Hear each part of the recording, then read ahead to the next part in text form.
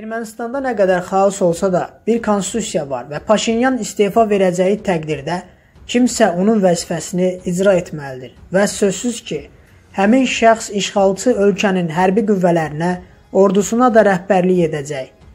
Yeni Sabahs xəbər verir ki, bunu sabiq Xarici İşlər naziri Tofiq Zülfiqarov moderator az açıqlamasında deyib. O bildirib ki, Eyni zamanda həmin məsul adam Azərbaycan, Ermənistan, Rusiya üçtərəfli razılaşmasından irəli gələn hansısa öhdəlikləri də yerinə yetirməlidir.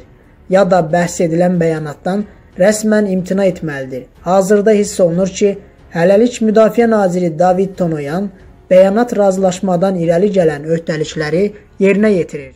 Onlar razılaşmadan Kəlbəcər, Ağdam və Laçından qoşunları çıxarmaqdan imtina edərək atəşkəsi pozacaqları halda Azərbaycan yenə də güc yolu ilə ərazi bütövlüyünü bərpa etməyə məcbur olacaq və nəticədə yenidən ağır artilleriya, tanklar, aviasiya işə düşəcək və bu şəraitdə Qarabağdakı yüngül silahlarla silahlanmış Rusiya sülh məramları da atəş xəttində olmaqla təhlükə altında qalacaqlar. Yəni erməni tərəfi üç tərəfli sazişi pozmaq üçün Moskva ilə də hesablaşmalıdır və deməli, həmin bəyanatdan bütövlükdə və ya hansısa maddəsindən imtina edəcəyi halda Ermənistan iqtidarı qarşısında Azərbaycanın öncə Putini görəcək. Putinin siyasi dəstxətti isə ondan ibarətdir ki, kiməsə söz verirsə, həmin sözün üstündə durmağı özünə borc kimi bilir və bunu digər tərəfdən də tələb edir.